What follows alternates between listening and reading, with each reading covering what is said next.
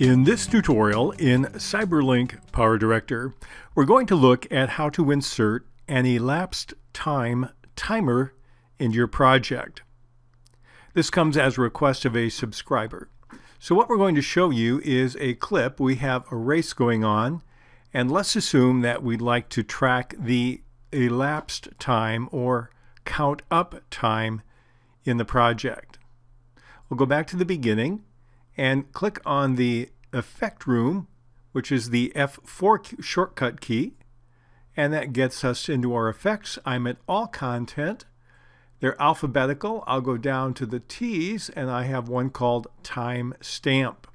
We'll take and drag that to the effect track and increase the duration to match my video clip in track number one. And now what I want to do, if I highlight the timestamp, I'll click on the Modify button above the timeline. I'm going to stretch it out because we have lots of information that we'll need to record here. First of all, we have a frames per second, and you have to make sure it matches the FPS for your particular project. Mine is 30. It detected that, so we're doing fine. If I want to click on reverse time, it will actually give me a countdown timer, and I can click a time code to start with in either case. We're going to make this an elapsed time timer, so I do not check this box. Then I have different options of how it will appear on the screen. I can do a format in terms of hours, minutes, seconds, and frames, or hours, minutes, and seconds, or minutes, seconds, and frames. I really wish there was one for just minutes and seconds, but unfortunately I don't have that format option. So we'll go hours, minutes, and seconds. I can choose the opacity of the text. Default is fully opaque or 255. I can make it down to where it's virtually invisible. I can also change the background opacity, which means I have to change the background to do that, I need to drag down to my background color. I have a separator as well. The default is the colon. I can use a dot, a dash, a space. We'll leave it with this one. And then I can have three symbols, a 24 hour. I can have a 12 hour, which starts out with 12. Or I can start with a 12 hour with an AM or PM. In this case, I'm just going to stick with the 24 hour symbol. Then I can choose the position. If I click on that button, that gives me a new screen. I can add, if I want to, a safe zone or grid lines. I have a safe zone here. And if I drag the red dot wherever I want it, that will tell me where the center of the time code will be on the screen. We'll click right there. Now we're going to change the font face and the text color. Let's change the text color to white. We see it immediately.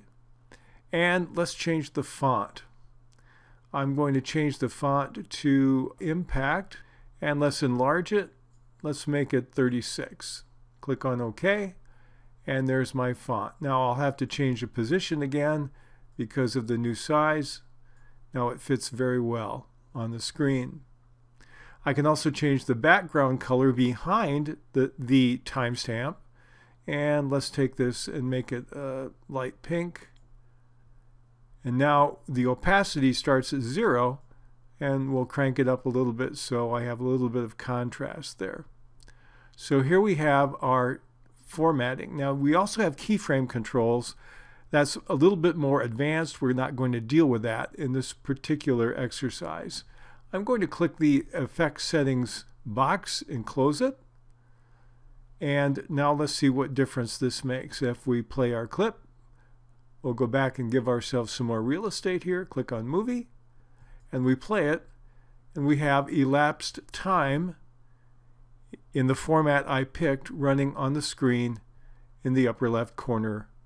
Now if I were to do this and want to be a little more careful about how it looks, I definitely would change the contrast here. I would take the background opacity, make it darker, and then it would stand out more. I might even change the text color to something a little more dramatic. Let's try purple. That stands out even better. And if I play it again, Now I have the changes. So it's a very simple way to add a, an elapsed time or count up timer in your project in CyberLink PowerDirector.